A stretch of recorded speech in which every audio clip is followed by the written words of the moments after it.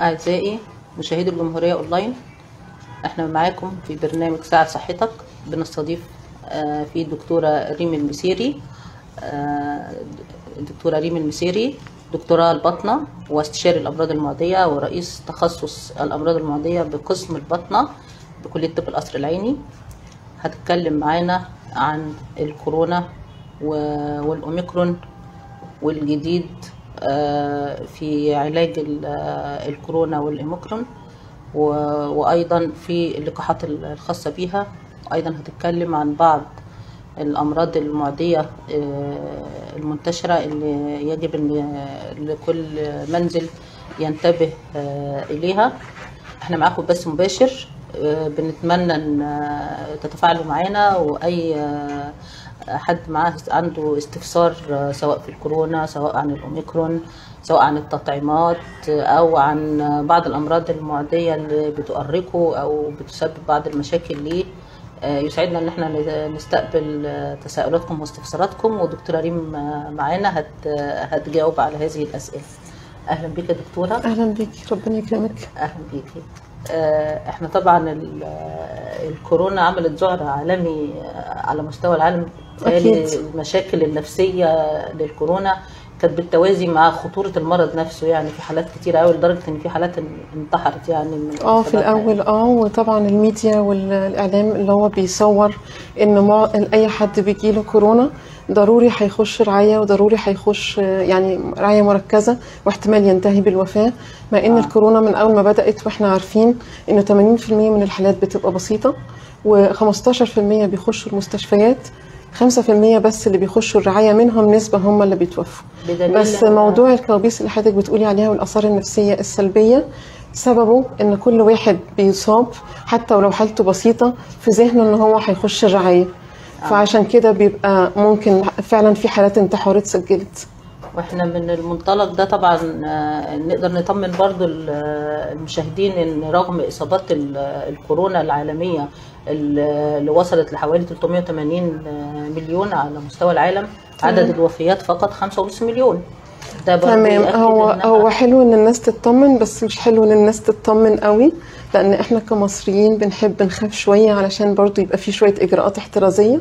لو طمنت الناس زيادة عن اللزوم ممكن الدنيا تنتشر. آه السلالة اللي موجودة آه، يعني ممكن تكون أقل حدة بس برضو لسه في ناس بتخش الرعايات فإحنا نطمن آه بس برضو ناخد. بالنا آه تفاؤل حذر آه، بالظبط. تفاؤل. حذر. آه. إحنا هن... هنأجل التفاؤل ده للمفاجأة اللي حضرتك هتقوليها لنا بس نبدأ آه، مع حضرتك كده آه، خطوة خطوة. يعني في مفاجأة عن علاج جديد للأوميكرون وعن لقاح مصر جديد والعلاج برضه علاج مصر جديد. بس إحنا هنتكلم معاك الأول عن ال- الأوميكرون والأعراض ال- الخاصة طيب، بيه. هي أعراض والفرق كورونا. وبين أعراض الكورونا. كويس. هو الأوميكرون طبعا هو سلالة من الكورونا. كويس كده. فخلينا نقول أعراض الكورونا الأول. أعراض الكورونا كانت بتيجي بحرارة كانت بتيجي بكحة كانت بتيجي ممكن. برشح ممكن بس مش كتير قوي. آه، ممكن آه، اترصدت حالات في الأول خالص إن هو فقدوا حاسه الشم والتذوق. في الأول الناس كانت بتستغرب جدا وبعد كده اتوصفت في ناس كتير. فبقت بالعكس يعني اللي بيجيوا ف- فقدان لحاسة الشم والتذوق بنقول له أنت عندك كورونا من غير ما تعمل مسحة. الموجة ال- أو الم- الموجات اللي فاتت كان في أوقات تأثير لل- للجهاز الهضمي فممكن يجي بإسهال أو آه، غمة نفس أو عايز يرجع أو كده. آه، طبعا في حالات بتبقى أكتر من كده وطبعا زي ما قلنا إن هو بيحصل تأثير بقى للرئة ويخش المستشفى. آه، الأوميكرون آه، الفكرة إن هو سلاله أو نقول متحور من متحورات كورونا. هو كورونا كأي فيروس بيتحور كتير أو يعني إيه بيتحور؟ يعني بيغير من شكله. فبالتالي بيخلي الجهاز المناعي بتاعنا بيصعب عليه المهمه إن هو يقضي عليه. آه، بيتحور بسرعة جدا. فالأوميكرون يعتبر لقوا فيه حوالي 65 آه، تحور آه، عن سلالات الكورونا الأخرى. آه، آه، مشكل أو يعني مشكلته إن هو سريع الانتشار. يعني لو كنا قلنا إن السلالات الأولانية كان آه، نسبة العدوى لو أنا عندي شخص واحد بيعدي آه، واحد ونص يعني الشخصين بيعدوا ثلاث أشخاص آه، الأوميكرون أكثر عدوى. يعني الشخصين ممكن يعدوا خمس أشخاص. يعني هو أسرع انتشارا. آه، أقل حدته بقى إيه؟ أقل حدة آه بس المشكلة في حاجة إنه آه، مشكلة الكورونا بوجه عام ما بتبقيش عارفة الجهاز المناعي بتاع الإنسان هيتصرف معاه إزاي. إحنا متفقين إن الكورونا مشكلتها مش في الفيروس مشكلتها في رده فعل الجهاز المناعي بتاع الإنسان للفيروس لأن هو ده اللي بيخلي فيه هياج أو هيجان شديد على مستوى الجسم يعني المناعة بتاعتي وهي دي اللي ممكن تعمل تدمر الرئة وتدمر حاجات كتير. عشان كده فإحنا بنقول إن هو سريع الانتشار بنقول إن هو أقل حدة ولكن ما نقدرش نتوقع لو جه لأي حد ممكن يعمل فيه إيه لأن هم برضو أثبتوا إن في عامل وراثي أو جيني إن ممكن تلاقي عائلات مثلا بتتعب وشباب صغيرين وبتموت. ليه؟ لأنه في عامل جي- جينات أو عامل وراثي لا يمكن آه، علاجه أو لا يمكن الوقاية منه. فالأحسن والأفضل إن إحنا نحاول نقي نفسنا من الإصابة لأنه ما حدش يقدر يتوقع الفيروس لما هيخش جسمه هيعمل إيه. أنا حاسة إن حضرتك إن لما لسه بقول نتفائل عملتي ستريس قوي وركزتي إن إحنا مش لازم نتفائل قوي. لازم نتفائل ناخد آه بالنا جدا وهو المرض. بسيط طبعا يعني هو قلتش نتهاون. آه هو المرض كده. الحالي يعتبر مرض هين بس برضو كل الناس بتوصفه إن هو دور تقيل يعني كأنه دور برد تقيل. طيب. آه، الأعراض الجديدة بتاعته هي أكتر حاجة الرشح والكح الرشح وال- والكحة. النشر يعني في العظم ال- يعني الرشح الرشح اللي هو الزكام يعني الزكام. الرشح والز- ال- وال- والزكام آه. والكحة. آه والانسداد الأنف. فقدان حاسة الشم مش كتيرة قوي والأعراض التنفسية مش كتيرة قوي وارتفاع درجة الحرارة بتحصل آه إنما مش بشدة الموجات التانية أو السلالات التانية. طيب هل ممكن يبقى في إصابة مزدوجة آه، كورونا مع مع أوميكرون سلالة تانية من الكورونا ولا دي آه، آه لا قدر طبعا الله تحصل يعني مع مريض ما. ما هي القصة؟ يعني هنقول, هنقول في التشخيص إن هو الأوميكرون بيتشخص عادي بالمسحة العادية اللي هي بتشخص كل السلالات بتاعة الكورونا إنما عشان أحدد السلالة اللي أصابتني سواء هي كانت دلتا أو أو أوميكرون أو إيه يعني إيه السلالة بالظبط بنعمل حاجة اسمها يعني فحص للتركيبة الجينية للفيروس. وده مش بيتعمل على طول بيتعمل في مراكز محددة وفي وفي يعني في يعني أحوال محددة ده بالنسبة للأوميكرون آه الأوميكرون وأي سلالة لو أنت الجينية للفيروس آه، ال- بالظبط، آه. الإيموك- آه، آه. سواء كان كورونا أو أوميكرون بقى لا ما هو الكورونا الأوميكرون هو سلالة من آه. الكورونا آه يعني بن- بنف- بنفحص ال- التركيبة الجينية للفيروس نفسه بالظبط. يعني فيها اختلاف عن مراحل آه، التعرف على آه، سلالات الكورونا الأخرى آه مش كده برضه؟ بالظبط آه آه آه يعني معناها يعني أنت عشان تشخصي عشان. تشخصي الكو... اللي أنا عندي كورونا أو لأ بنعمل المسحة وممكن تطلع أوقات بتطلع سلبي والمريض يبقى شايل لفيروس حامل لفيروس الكورونا. وفي أغلب الاحيان احيان يعني في 80% بتطلع إيجابي. آه، عشان أحدد نوع السلالة ده ليه فحص تاني اللي هو إن أنا أفحص التركيبه الجينية للفيروس. آه ودي تبقى بتبقى شور مؤكدة بقى. آه طبعا. التحليل هنا بيبقى مؤكد آه يعني. طبعا. وبيقول؟ لك السلالة بالظبط طيب ال- انت حضرتك اتكلمتينا عن الأعراض بالنسبة لل للأوميكرون.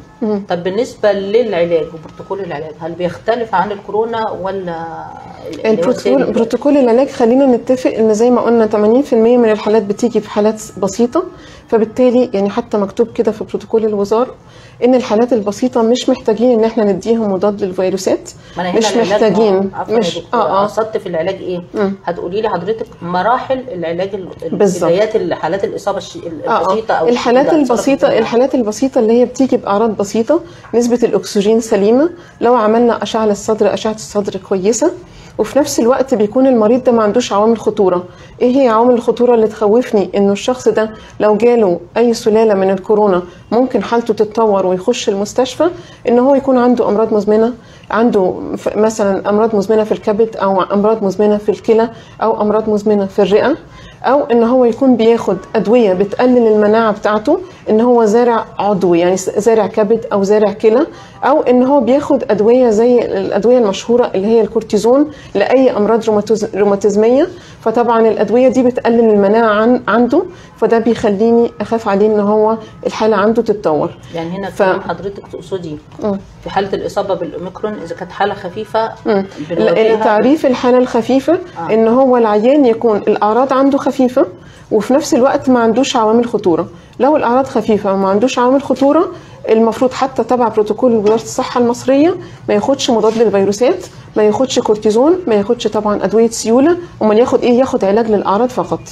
لو بدأت الحالة. ياخد آه آه آه علاج الادويه. الرش آه. حرارة ياخد علاج لخافض للحرارة. بالظبط. ويتعزل. طبعا العزل برضو كان عليه كلام. في أول الكورونا آه، كنا بنقول إن العزل 10 أيام أو 14 يوم. آه، جم جم بعد كده من خمس أو ست أيام ال CDC اللي هي يعني منظمة في أمريكا بتدرس ال- ال- اللي هو ال Center of Disease Control قالت إن العزل خمس أيام فقط. لو المريض يعني مطعم الأوميكرون؟ آه آه في حالات آه. الكورونا كلها إحنا بالنسبة لنا لغاية دلوقتي لا بنعزل كلها ولا الأوميكرون بس يا دكتور لا لا ما هو إحنا ما هو إحنا إحنا بنقول إن السائد دلوقتي هو الأوميكرون آه. ولكن أنا ما أقدرش أحلف 100% إن هو أوميكرون غير لو عملت فحص للجينات وده مش موجود فإحنا بنفترض إن هو الأوميكرون بطريقة الأعراض اللي هو منتشر بيها طيب معلش عفوا يعني حضرتك قلت السائد هو الاوميكرون معنى كده السلالات الأخرى خلاص انتهت. لا ممكن تكون موجودة. موجودة لا ممكن طبعا تكون موجودة. بيها؟ وممكن يكون في سلالات جديدة هو بيتحور كل دقيقة يعني بيتحور كتير حتى قوي. بدون السلالات الجديدة الخوف إن يكون لسه الأم... الكورونا بالسلالات القديمة. كانت طبعاً. بتسبب أعراض وممكن الع- العزل بيستمر الاسبوعين والثلاث أسابيع. أيوه طبعا برضه أيوه طبعا. نبقى حذرين ليها بالظبط؟ فإحنا دلوقتي لما أي حد بيبقى عنده أعراض بنقول له لو سمحت هو بيجي لي مثلا العيادة على اليوم الثالث بعزله لمدة أسبوع يبقى هو اتعزل كده لمدة 10 أيام على حسب يعني دوليا يعني منظمات الصحة العالمية وكده قالوا إن هو الفيروس مش بيبقى موجود في ال في, ال في الإفرازات التنفسية بعد اليوم التاسع فأنا لو عزلته لمدة 10 الأوميكرون. أيام الأوميكرون أو سلالات الكورونا كلها هي نفس الحاجة. بعد اليوم التاسع ما آه، بيبقاش آه. في الإفراز ما بي... في. الاغلب في أغلب الوقت. فبالتالي أنا ممكن لو عزلته لمدة 10 أيام من بداية الأعراض ده كفاية. بس اللي, اللي نزل جديد إنه كمان بقينا نعزل خمس أيام وبعد والخمس أيام الأخر... اللي بعديهم بيلبس الكمامة. بس طبعا ده باعتبار إن هو الأعراض عنده اتحسنت. طب لا أنا عايزة توضيح هنا بس في الجزئية دي يا دكتور. دلوقتي لو أصيب بالكورونا عزل خمس أيام. الخمس التاني الخمسة التالية يلتزم بالت... ب... ب... بالكمامة ويخرج. عادي؟ أو يختلط بالناس مع الكمامة؟ آه. ولا إيه؟ آه. سواء كان بس. أوميكرون سواء كان كورونا؟ ما هو الأوميكرون زي ما قلنا هو سلالة آه، من آه. الكورونا. ما أنا عارفة، أنا بتكلم بس عشان طيب ابصي الخطوط علشان ما. يحصلش لخبطة خلاص هو العزل 10 أيام. 10 أكتر آه 10 آه. أيام من بداية الأعراض.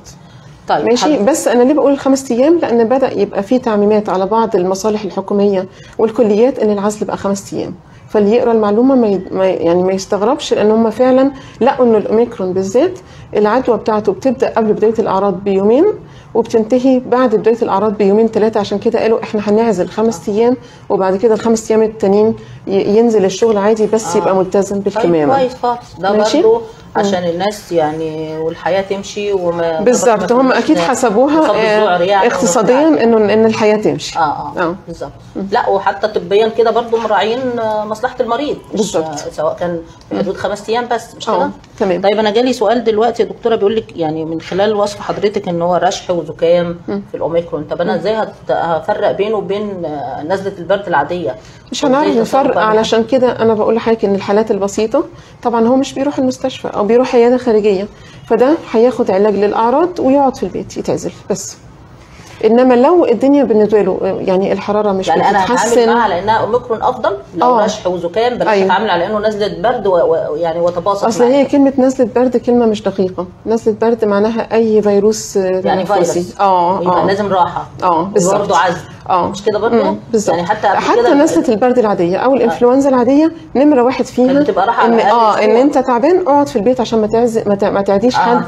أنت مش مهم أنت عندك إيه؟ المهم إن أنت ما تعديش بقية يعني بنأكد تاني للناس يعني حتى لو عند حضرتك طفل في البيت وجاله برد أو انفلونزا أول حاجة بنقول له إيه؟ اقعد في أوضة لوحدك آه، صح كده؟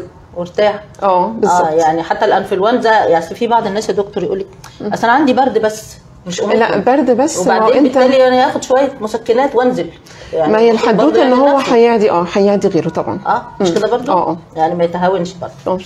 آه. طيب برضو في سؤال آه، جالنا تاني يا دكتورة بالنسبة لل للأوميكرون. أنت حضرتك أكدت لنا إن دلوقتي تم عزله. آه. مش كده؟ طيب. الحالات بقى اللي انت قلتي اللي هي أكثر آه، يعني آه، تعرضا أو خطورة آه، يعني دي هنعزلها في الأول خمس أيام عادي ولو تطورت نضطر نروح المستشفى ولا يبقى لا هو إيه؟ هو الأفضل إنه أي حد بيشتبه ان هو كورونا خلاص وعنده عامل خطورة عنده عامل خطورة الأفضل إن هو يتوجه للطبيب. ليه؟ لأنه ساعتها بنديله أدوية مضادة للفيروسات.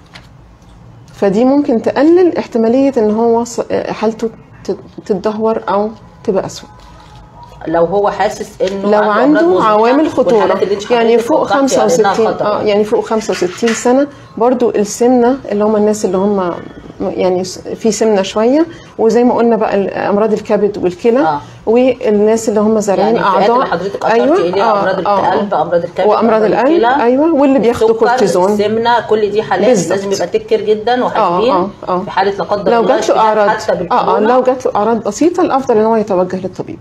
الأفضل يتوجه آه. إنما لو شاب صغير مثلا 23 سنة أو 16 سنة طبعا بينزلوا وبيخرجوا وبيختلطوا. وجاله شوية صداع وجاله شوية رشح لمدة يوم وتاني يوم بقى كويس. مفيش داعي أعمل له تحاليل مفيش داعي يشوف الطبيب. يعني ممكن إن هو ياخد علاج للأعراض ويتعزل ويبعد عن كبار السن برضو علشان خاطر ما ينقلهمش العدوى طيب برضه هنا في سؤال آه، الموضوع ال- اللي عامل للناس آه، قلق التطعيمات. مم. آه، البعض يقول آه، يعني في سؤال آه، جاي لي عن طريق آه، بقى يعني المشاهدين الحامل. آه، في اللي يقول تاخد تطعيم اللي يقول لأ. طيب. برضو منظمة الصحة العالمية بت بتدعو كل الحوامل سواء إن هي حامل سواء إن هي ناوية تبقى حامل إن هي تاخد التطعيم بس بناخد نوعين معينين. يعني ما بناخدش الأسترا ما بناخدش الساينوفاك لأنه لس- لم يتم دراستهم إنما اللي تم دراستهم دراستهم على على. السيفتي آه اللي هو الأمان بالنسبة للحوامل. معنى كده إن في بعض أنواع اللقاحات تم آه، تجربة ال safety بتاعتها والأمان للحوامل؟ آه. اللي هي إيه بقى؟ نوع إيه؟ الفايزر والموديرنا. الفايزر دول آمنين والموديرنا آه. دول امنين على بنركز الحوامل. آه. إن الفايزر والموديرنا آه. اللقاحين امنين آه. بالنسبة للحامل. بالظبط كده. طيب هفترض إن برضو الحامل مش عايزة. يعني في ناس على فكرة رافضين وفي أطباء على فكرة بيرفضوا وحقهم إن هم يرفضوا آه، التطعيم. في ناس بترفض. طيب آه، نسيبهم برضو من غير تطعيم؟ لا. هنقول إن في فئتين من الحوامل لازم يطعموا مين ومين؟ الحامل اللي عندها عوامل خطورة يعني عندها أمراض مزمنة بتاخد كورتيزون المناعة عندها فيها مشكلة عندها مثلا أمراض روماتيزمية وبتاخد آه، أدوية. دي واحدة. الواحدة التانية اللي هي لو بتشتغل في المجال الصحي. أي حد بيختلط بالمرضى يبقى ده لازم وممرضة لو حامل. عاملة آه. لازم إنها تاخد التطعيم. آه نفوا نفي صريح إنه التطعيم آه ما نأخرش الحمل علشان التطعيم ما نمنعش الحمل عشان التطعيم. تمام؟ والت... و... وما ننهيش الحمل. يعني لو واحدة حامل آه. تاخد التطعيم وبعد كده تقوم منزلة البيبي آه، الناس التطعيم. لا ما فيش الكلام ده. بس برضه أرجع بقول لك إن هنا في مصر لا في خوف. يعني معظم الناس آه، بتثير إن التطعيم للحوامل آه، يعني مرعب أو في مشكلة لدرجة إن هو بيقول إن هو بيخش يعني بيروح للجنين وي... ويعمل له مشكلة أو كده. آه أعتقد بالتسجيل حضرتك قلت لي إن ثبت إن الحامل لو خدت آه، التطعيم ممكن بعض الأجسام المناعية اللي هي يعمل وقاية للجنين؟ آه اللي هي بتتكون في جسمها ممكن تتنقل للجنين وده كلام منظمة الصحة العالمية.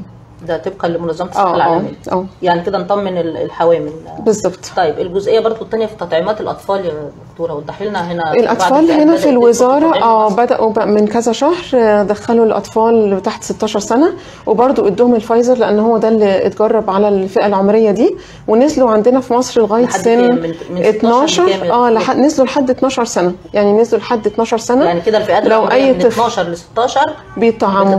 بيخش على الموقع آه بيخش على الموقع وبيسجل وبيقول عمره وعادي بالرقم القومي بتعمل له ميعاد وبيطعم في أمريكا طعموا 9 مليون تقريبا طفل بس هم يعني أجمد مننا بشوية يعني من 5 ل 11 سنة طعموا 9 مليون طفل. ما بين 5 ل 11 آه سنة. من 5 ل 11 خمس سنين سنة. ل 11 سنة في أمريكا. آه أطفال. أطفال. 9 9 آه. مليون. بس بيدوهم إيه؟ بيدوهم تلت الجرعة يعني بتبقى محسوبة. وبرضو قالوا إن في طبعا على فكرة في يعني أعراض جانبية للفاكسين للتطعيم ولكن لقوا إنها كلها حاجات بسيطة ويعني قليل قوي اللي تعب أو حصل له مشكلة كبيرة. طيب برضو في آه، بالنسبة للتطعيم وال- والأصحاب الأمراض المزمنة زي القلب زي ياخدوا التطعيم. زي السكر. ياخدوا التطعيم إيه بالعكس. إيه إيه الموضوع معاه؟ اللي كلهم ياخدوا التطعيم والأحسن إن هو ياخد الفايزر برضه.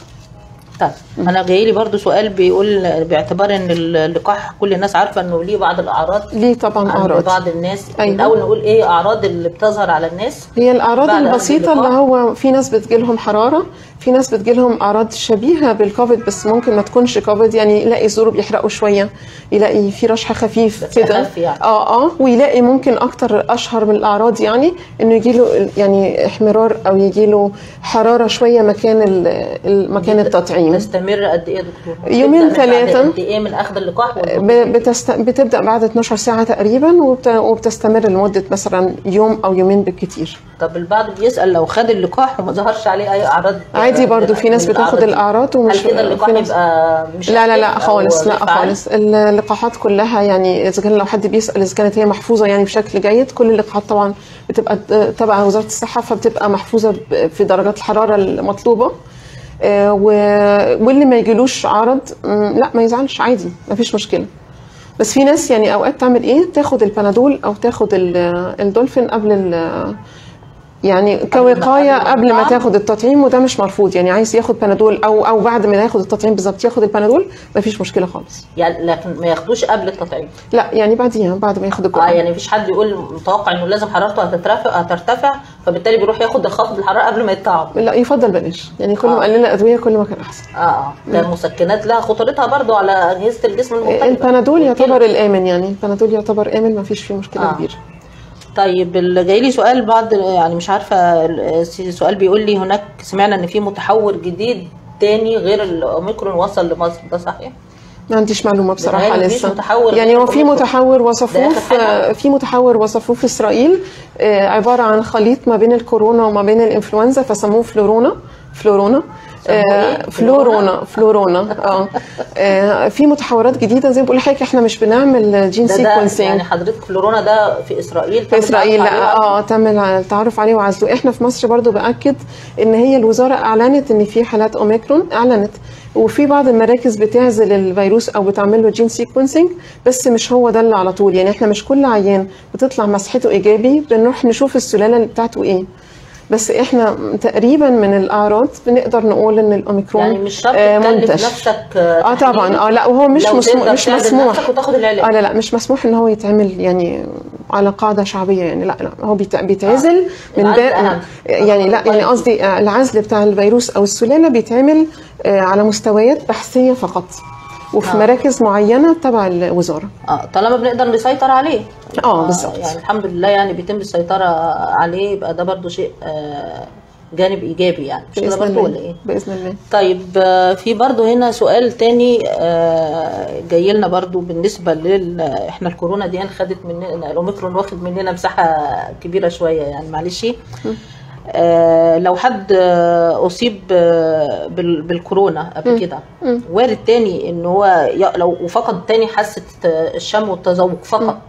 هل دي ممكن تبقى كورونا تاني؟ ممكن طبعا في ناس بتتصاب مرة يعني واثنين يعني هو أصيب آه، كورونا آه. فيما سبق آه وبعدين اصيبت بفقدان حاسة الشم وال- والتذوق ورجعت له رجعت له. رجعت له فق- وفقدها تاني ولا إيه؟ لا يعني هو بيقول إنه آه، لما جات له الكورونا وبعد كام شهر اصيب تاني بفقدان الحاسه الشم غالبا دي. إصابة تانية غالبا إصابة تانية. غالبا. إصابة تانية. آه. هي الحدوتة إن الكورونا يعني مش بتدي مناعة خالص أو يعني بتعمل بعض الأجزاء ال- الأجسام المناعية. لما أنا أصيب بيجي لي شوية أجسام مناعية. آه. بس مش بتمنع الإصابة التانية. ممكن يجي لي لأن زي ما قلت لحضرتك ممكن اصاب أصيب بسلالة تانية. آه. فهي لسه المعلومات كاملة مش واضحة على الفيروس مش طيب، كاملة مش واضحة. كده الكلام ده هنعرفه بعد سنين بعد لما الجائحه تخلص بأمر الله. طيب. أنا شفت ناس يعني أصيبوا مرة واثنين ور- ورجعوا أصيبوا المرة الثالثه وناس اتصابت مرة واثنين واتطعمت واتصابت الثالثه بس هي قيمة التطعيم إن هو بيخلي الإصابة أقل المفروض يعني. وفي نفس الوقت بيقلل الدخول للمستشفيات وبيقلل الوفيات آه يعني هو التطعيم ده إنما دي مهمة قوي. آه إن التطعيم لا يمنع من الإصابة لأنه برضو بالذات فئة الشباب هو متخيل إن هو بما إني بقى أصاب يبقى هطعم ليه؟ إيه لا هو أنا بقول لحضرتك إنه في فئة من الشباب مثلا هو بي- بياخد التطعيم بهدف واحد إن هو عايز يقلع الكمامة. لا أنت هتاخد التطعيم وهتقعد برضو تلتزم بالتباعد وبالكمامة لأن أنت ممكن تصاب أي نعم ممكن تبقى الإصابة خفيفة بس الأفضل إن أنت تلتزم بالإجراءات الاحترازية. ده أفضل. آه. طيب ال- اللي برضو الجزئية اللي إحنا عايزين نقول فيها ال- بالنسبة للقاحات حضرتك قلت لي إن إحنا في مصر آه، اللقاح المصري في سبيله يعني إنه يرى ال- لسه في تجارب سريرية لسه بيبتدوا فيها لسه. اللي هي الكوفي آه، اللقاح المصري اللي هو الكوفي فاكس آه. كوفي فاك فاك ده already في في مرحلة التجارب السريرية بالظبط كده. طيب قلت لي برضو في بارقة أمل إن في علاج مصري للأوميكرون.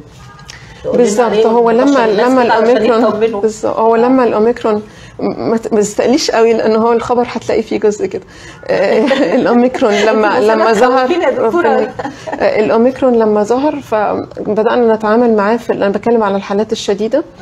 آه، والحالات البسيطة اللي هي بتدخل المستشفيات أو الحالات البسيطة آه، يعني متوسطة اللي بتدخل المستشفيات أو البسيطة اللي معاها عوامل خطورة كنا بندي آه، مجموعة من الأدوية اللي هي المضادات للفيروسات زي الأيفرمكتين وحاجة اسمها الفافي بيرا فيرا آه، فافي بيرافير وده برضو كان بيتصنع في مصر آه، لما جت السلالة بتاعة الأوميكرون وكان في برضو حاجة اسمها ال monoclonal antibodies اللي هو دواء غالي بالآلافات يعني بيتاخد آه، تبع خارج مصري آه آه؟ آه، لا هو يعتبر آه لا يعتبر مستورد آه، حاجة حاجة و30 ألف بس بي بيستخدم في حالات معينة برضو بيقلل تدهور الحالة.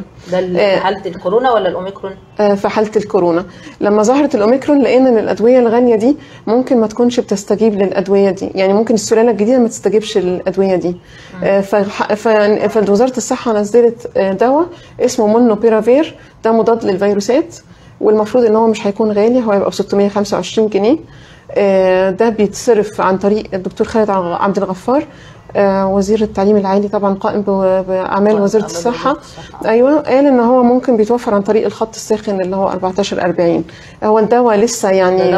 آه يعني مصنع في تاني مصر اسم يا دكتورة آه، مونو بيرافير هو ده يعتبر بيتصنع في مصر في خمس أدوية. آه، دواء آه، خمس مصانع دواء مصرية بدأت في تصنيعه بس هو في مشكلته في تحذير يعني في حتة الحوامل إن هو لا يفضل إن هو يستخدم لأن هو ممكن مشكلة يعمل مشكلة للجنين بيبقى آه. حذرين جدا في آه. التعامل فيها عند الحوامل فده يعتبر أحدث دواء نزل في يناير يعني والله خبر آه، سهر للناس إحنا نطمن بس الناس إن إحنا كده في أخيرا سمعنا عن دواء للكورونا بدل الم- مسألة اللقاحات فقط يعني. آه، هو هو طبعا يعني هو. برضو آه هو في أمل وكله بس برضو يعتبر يعني آه، على فكرة كل أدوية الكورونا لو دخلتي على الإنترنت هتلاقي مكتوب عليها investigational drug. يعني كل الأدوية تعتبر تحت التجربة.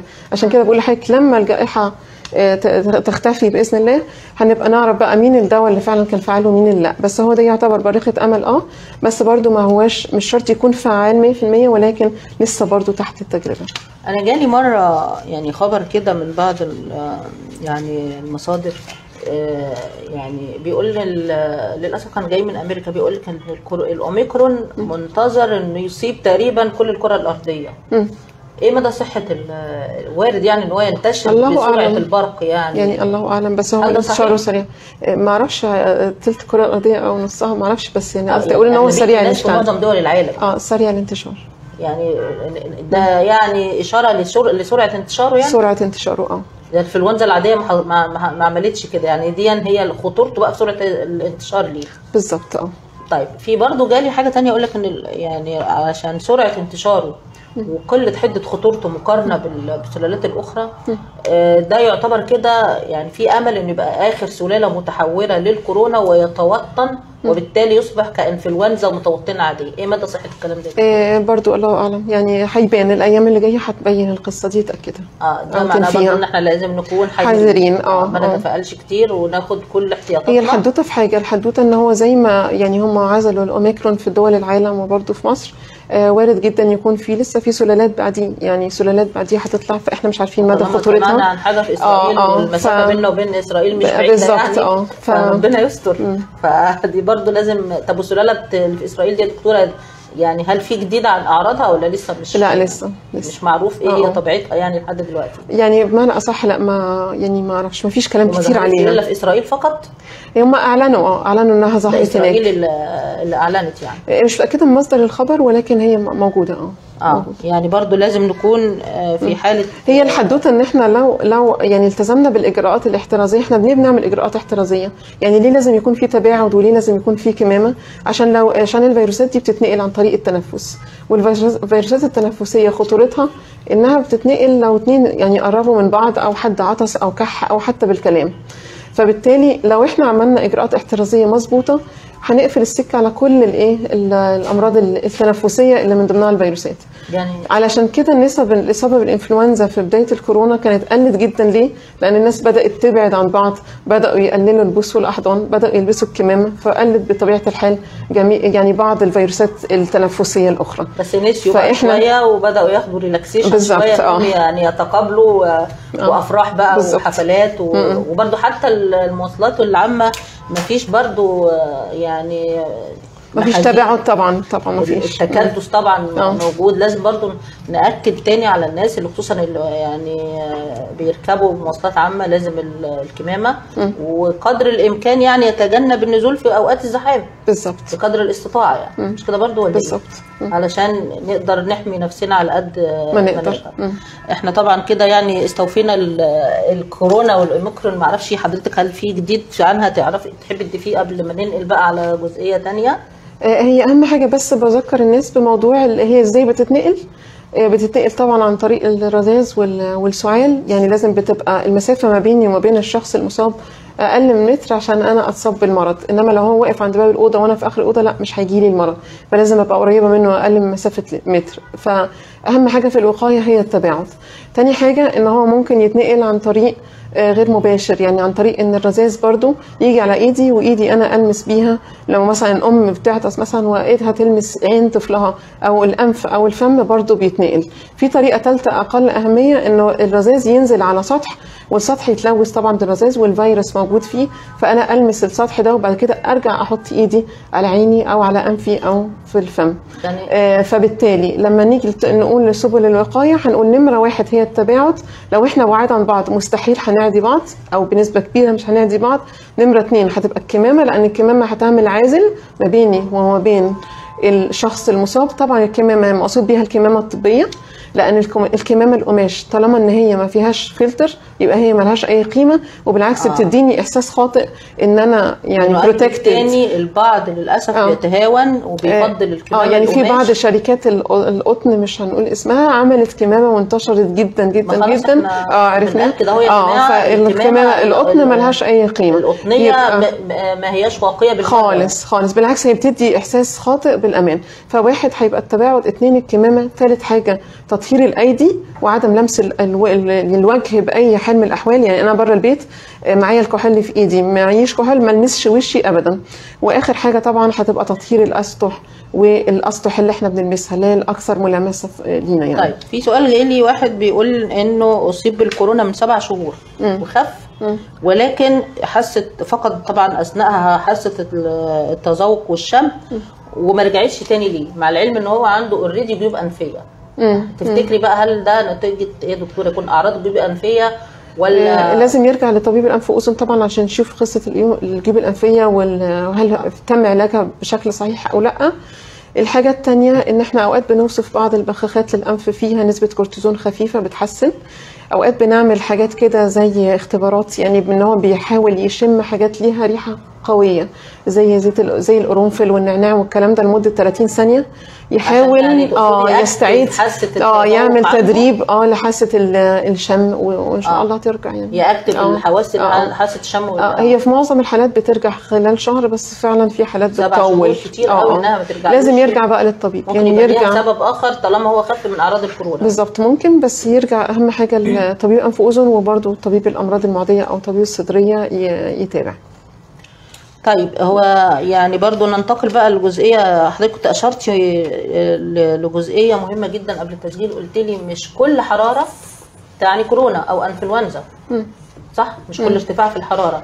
قد يكون آه، أعراض ارتفاع الحرارة مرض آخر معدي مش كده برضو دكتور ولا إيه؟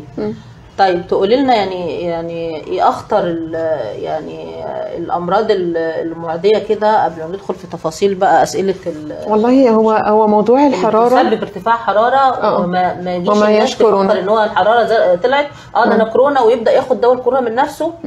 لازم برضه هو إحنا كورونا يعمل إيه. الكورونا إحنا متفقين إن الكورونا طبعا فيروس.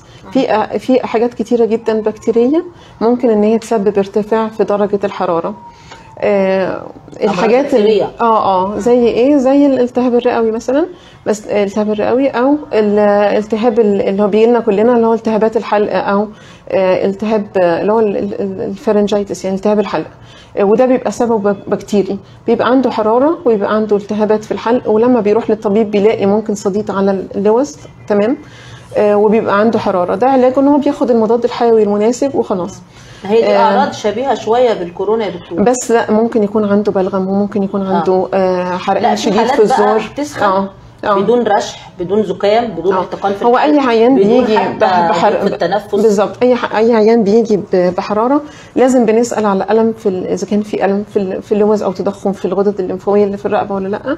تمام؟ وبنسأل بعد كده على الأعراض بتاعة التهابات الصدر أو الالتهاب الرئوي. يعني هل في كحة أو بلغم أو لأ؟ لو مش في ضيق في. التنفس مفيش. بنسأل برضو على حاجة برضو منتشرة جدا اللي هو التهابات البول. ممكن يكون عنده حرقان في البول بيخش الحمام كتير وده يكون سبب من أسباب الحرارة. في أسباب بقى اللي هو يعني, يعني البول آه. يسبب ارتفاع في الحرارة؟ ممكن بس سواء للرجل مش أو المراه ولا لا هو التهاب البول أصله له شقين اللي هو التهاب الم- المجرى ال- ال- البولي السفلي اللي هو المثانة. ده بيجي بأعراض بس بيدخل الحمام كتير وحرقان في البول. إنما ممكن لو لو العيان ده عنده سكر مثلا ماشي آه. ممكن إن هو الالتهاب يطلع ينتشر لغاية ال- ال- ال- الكلى فيعمل التهاب في الكلى ساعتها العيان يجي بحرارة ورعشة وممكن ألم مكان الكلى يعني ألم في جنابه من ورا آه ده يعني ماشي. كده إذا مرضى السكر ومرضى الكلى ينتبهوا خصوصا لو حصل حرقان لو في عنده البول آه بدأ حرقان في البول آه ممكن لو هو ما اتعالجش؟ كويس آه يوصل للكلى ويعمل له التهاب شديد في الكلى آه آه. آه، في بقى يعني في كده زي انتيتي منفصلة أو مجموعة من الأمراض اسمها اللي هي الحمى مجهولة المنشأ اللي هو العيان سخن وإحنا مش عارفين هو سخن ليه فطبعا بنعمل له التحاليل العادية وممكن بنعمل له حاجة اسمها مزرعه دم آه، ونشوف يعني ضمن الحاجات اللي ممكن بتأ- بتؤدي للحرارة آه، حاجة اسمها الحمى الملطية. الحمى الملطية دي آه، واحدة من الأمراض المعدية اللي بتتنقل من من ال من ال من الحيوانات للإنسان اللي هم الأغنام والمواشي آه. اللي هم بيرب بيربوا أغنام ومواشي أو الطبيب البيطري اللي بيقوم بتطعيم الأبقار والمواشي. طب بيتنقل لنا إزاي؟ طبيب بيطري ممكن وهو بيطعم المواشي التطعيم نفسه يجي فيه فيتعدي أما المزارع مثلا اللي هو لا مربي. وضحي لي يا دكتورة الجزئية دي. يعني إيه طبيب بش...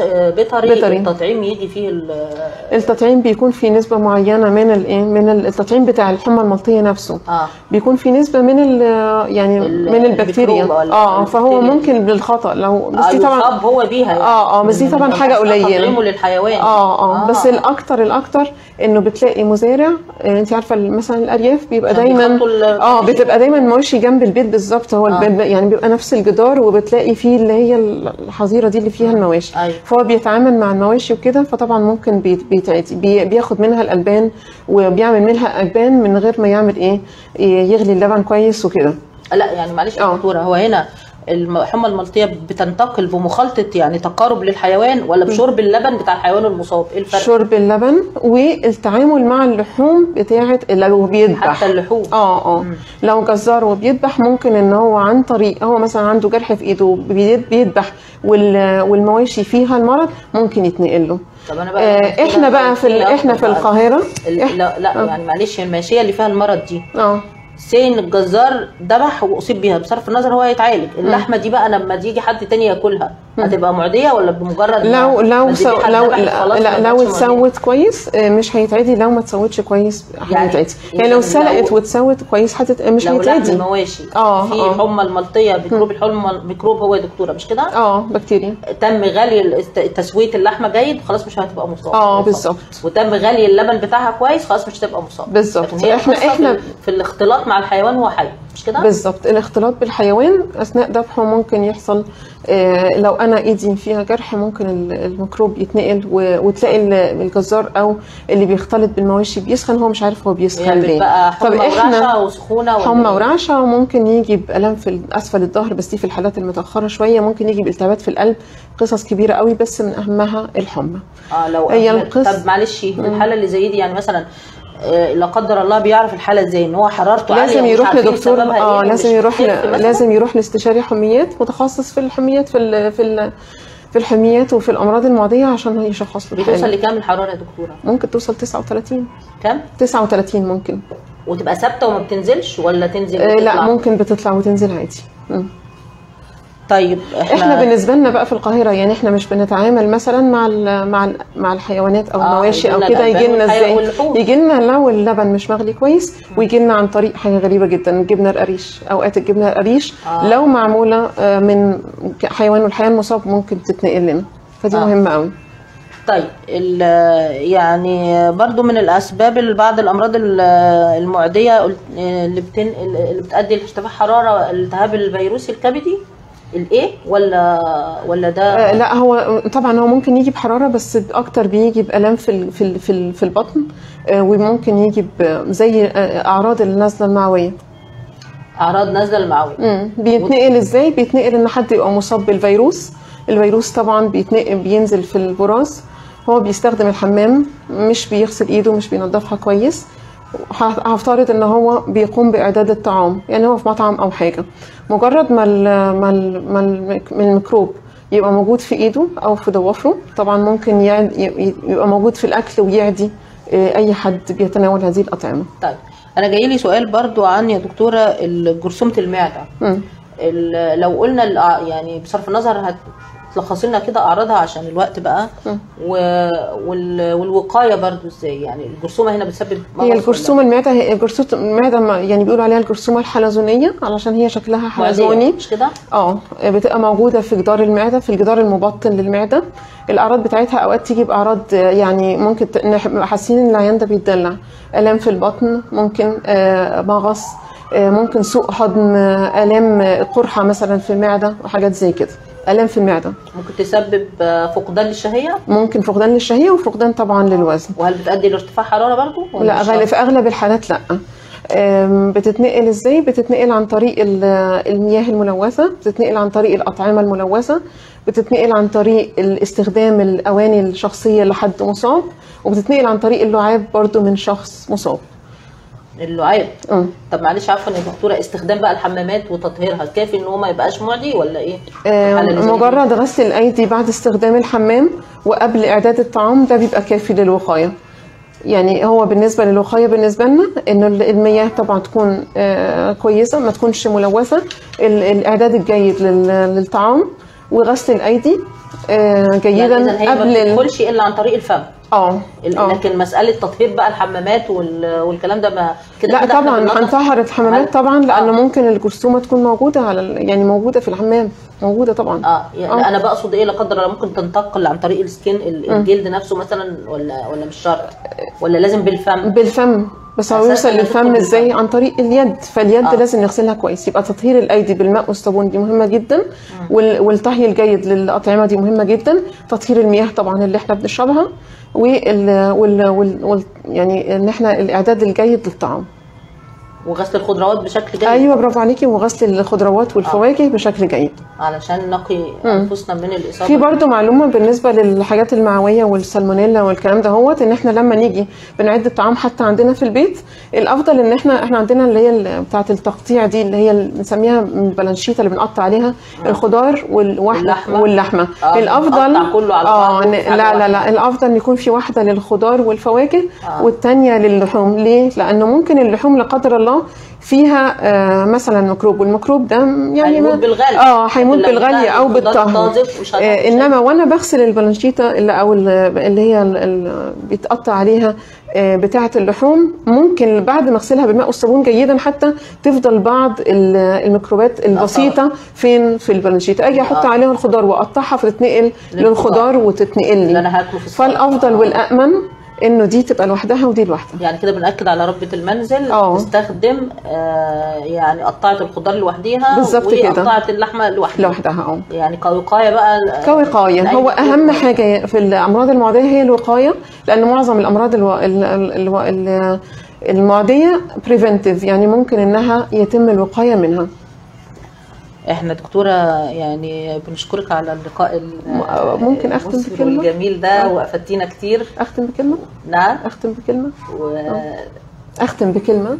اتفضلي. آه يعني بس حابه أقول للجميع إن طريقة الوقاية من الأمراض ال- المعدية سواء اللي هي التنفسية أو آه، أمراض الجهاز التن... ال- يعني التنفسي أو الهضمي أو حتى الجهاز العصبي اللي هو التهاب السحايا والكلام ده هوت.